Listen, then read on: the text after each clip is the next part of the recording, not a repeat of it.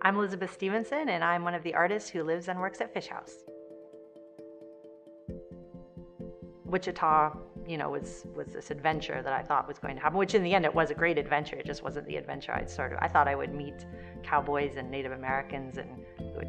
I mean, I'm terribly naive now. I say that. That's totally irrational. But anyway, at the time, I thought it would be sort of an exciting Wild West game.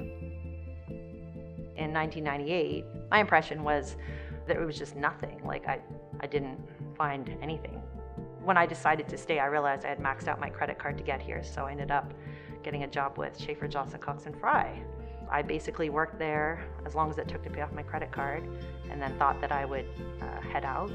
And then well, I just started getting more involved in the art community, and there were several really interesting places, and I was, it was completely unexpected. I absolutely did not imagine I would find that in the middle of the United States, especially Commerce Street. At that point, I mean, it was just Fisch Haus on Commerce Street, and I came down here, I think, for an exhibition, and and then the door flew open, and there were lights and talking, and a bunch of people, like really good-looking people, and with drinks and tons of music, you know, in the background, and, and then it was this art show, and that that really sealed the deal for me. That was a life-changing experience.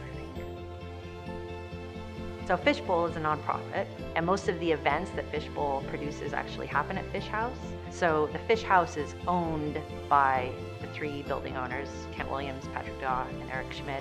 And that is a for-profit endeavor in that the guys sell their work and they have exhibitions. The Fish Bowl handles community events that need to be fundraised for, need to be organized, need to be administered. So that's why we started the not-for-profit. Well, Open Studios is basically, we're, we're trying to fill empty storefronts with working artist studios. So it gets artists in studios, gets things happening, people are making, people are thinking, and it also fills these empty storefronts temporarily. The artist gets the space for free, and then the property owner is able to enjoy a, an active space where a potential tenant could actually take a peek inside as they're walking by and, and see their own business in the space. When you have empty spaces, it just, it doesn't, it's not exciting, it's not active, it's not viable.